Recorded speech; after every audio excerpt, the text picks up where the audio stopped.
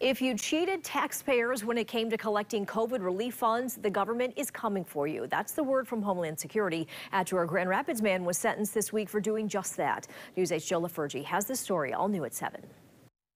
Along with crowded hospitals, closed schools, and political discord, businesses also took a major hit during COVID lockdowns. So Congress passed and then President Trump signed the $2.2 trillion Coronavirus Aid, Relief, and Economic Security Act, or CARES. About $659 million of that act provided businesses with a way to pay employees who couldn't work because of shutdowns through the Paycheck Protection Program. But the government says some employers took advantage of that relief and Eric Post was one of them.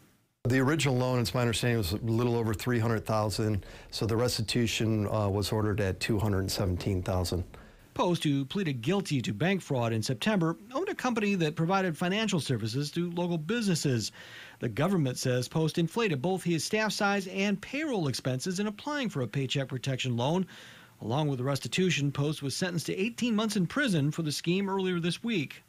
So if Post wasn't putting the money towards payroll, what was he spending it on? It's my understanding the investigation uh, proved that it was for personal expenses. Another federal agency tipped the West Michigan Homeland Security investigations off to the fraud. Flanagan wouldn't provide specifics on that tip. Agents don't want the bad guys to figure out how they're caught. This fraud's not a victimless uh, crime. But he does say the investigation should send a message to those trying to defraud taxpayers that there's a good chance of getting caught.